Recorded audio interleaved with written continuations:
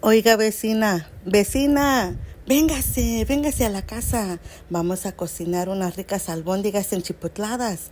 Venga, porque a mí me salen bien ricas y bien sabrosas. Y bueno, bueno, mi gente, pues aquí, aquí vamos a preparar unas ricas albóndigas enchipotladas bien sabrosas a mi estilo, obviamente. Esta no es receta ni de la abuelita, ni de mi mamá, ni de nada. Son recetas inventadas.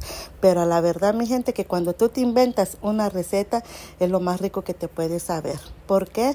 Porque lo haces con amor, cocinas con amor. Y todo lo que cocinas o lo que haces con amor, todo te sale bien rico, sabroso.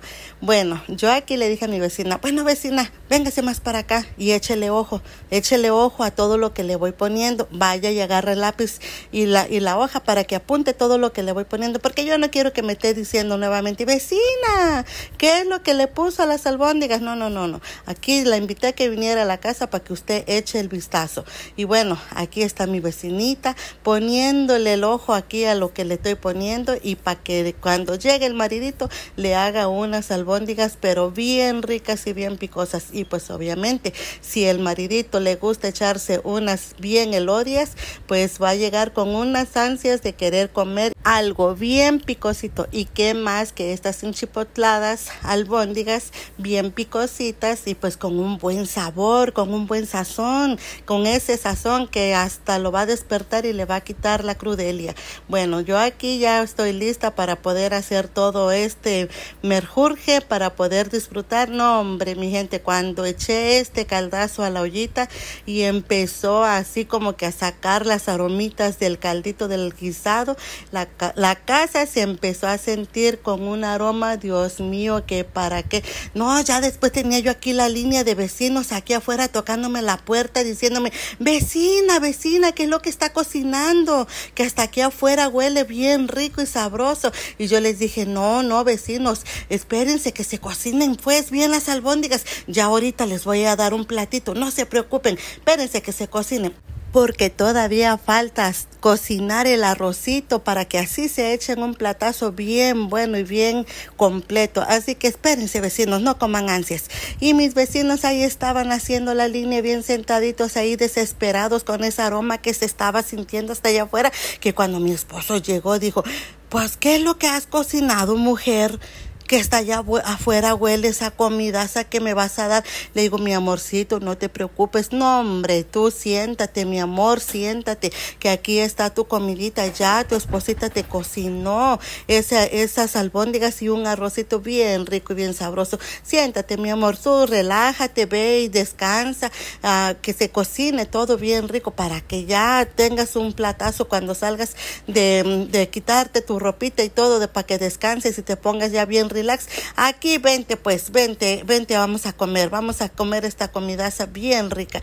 Y pues mi esposito bien mandado, no hombre, mi esposito se fue para allá a quitarse los zapatos del trabajo y empezar. Ahí le dije yo, y todavía falta que vamos a hacer las tortillitas. Aquí yo me puse a hacer mis tortillitas hechas a mano y no hombre, luego que son tortillitas de maíz negro, de maíz de color, no hombre, esas tortillitas salieron, miren de rechupete. Y cuando mi esposito miró estas tortillas y la vecina también dijo, Dios mío, y todavía me vas a hacer tortillas hechas a mano y luego para qué, ¿por qué crees que eres mi vecina, mi vecinita?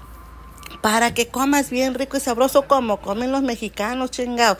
Pues aquí están las tortillas, miren, recién hechecitas y ya luego pues le serví su platito a mi esposito y mientras ahí estaban las tortillas esponjándose, miren que qué bonitas están esponjando estas tortillas, no hombre, empecé como que a servirle el plato a mi esposito y dije, no, pues aquí le voy a servir a mi esposo para que coma bien rico.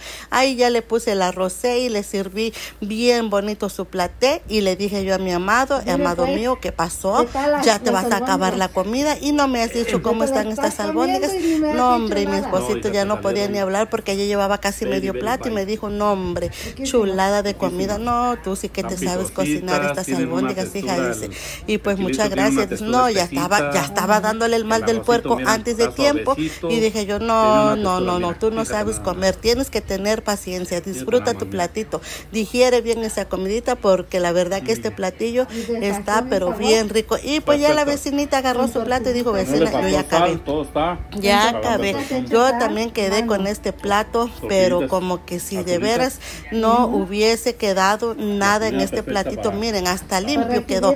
Y yo dije, yo, pues, qué bueno, vecinita, qué bueno que te gustó mi comida. Pues para la próxima, ahí le vuelvo a echar el gritito. Usted tranquila. Ahí le voy a echar el grito nuevamente para que se venga conmigo, pues, para que se venga a comer, a preparar las comiditas. Y pues por si le vuelven a gustar, pues aquí se queda nuevamente. Así me ayuda a lavar los trastes. Pues miren la vecina, miren la vecina, hasta se está agarrando la panza que porque ya no le cabía más. Bueno, mi gente, pues si les gustó este videito, pues ahí denme like, suscríbanse pues también, apóyenme, denle ese corazoncito para que siga yo cocinando.